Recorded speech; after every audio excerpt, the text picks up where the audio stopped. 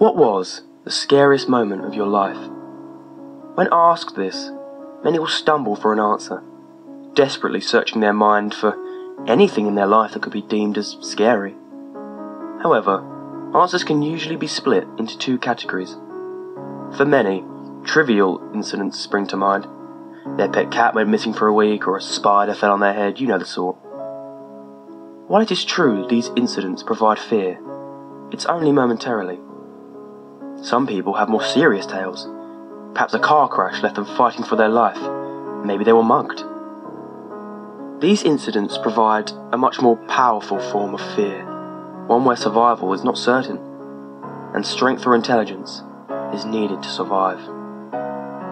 While these are the two main categories of fear a normal person can experience, there is a third. The majority of people will never experience this kind of fear. Can only truly be felt in extreme circumstances. But what kind of situations can induce the third kind of fear? Situations where there is no escape, where no matter what you do, you cannot stop the inevitable. Imagine you wake up in a small room. It's dark and cold, and the room appears to be devoid of any detail. In the dark, it's difficult to see, but you appear to be surrounded by grey walls.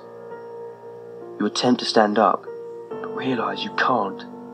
Something is preventing you from moving your legs. You try to move your hands, but they too have been secured.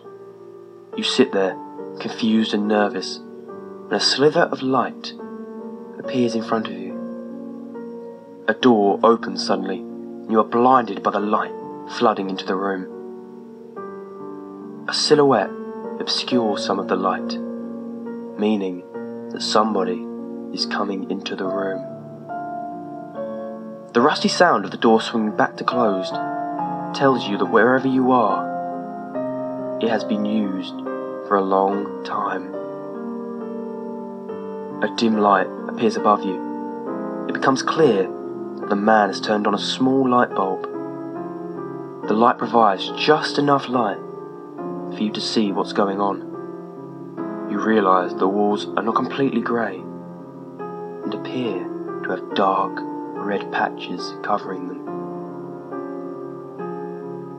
The person was the most disturbing aspect, though. The immense height suggests it's a man, although it's impossible to tell. His face is obstructed by long, greasy, black hair. A crude mask also covers his face, which looks like it was made of scrap materials and sewn together with haste.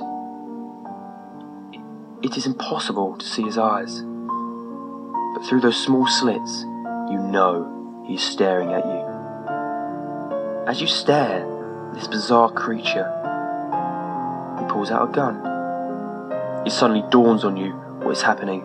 This man is here to kill you. And he has done it so before. The red splotches make sense to you now. Many people have died here before you. There is no reason or motive behind this. You are not the first, and it's highly likely that you won't be the last. This man, no, this creature, has taken you here to kill you. You try to say something and realize that you've been gagged. The creature has prepared for this and knows what to do. He has taken every measure to ensure that you die in this room.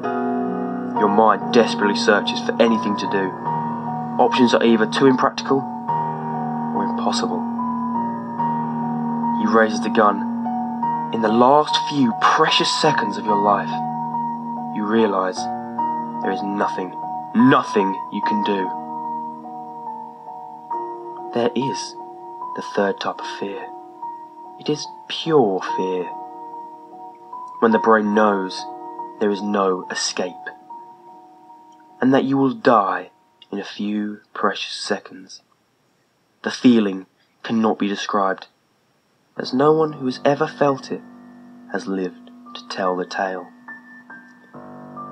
So, when asked about the scariest moment of your life, understand that the fear you felt is only category 1 or 2. You have never felt category 3, the pure fear, and you never want to.